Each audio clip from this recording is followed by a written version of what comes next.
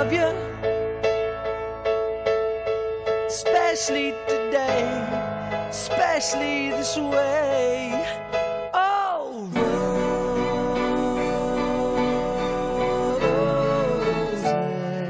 Rose, I love your delicate way.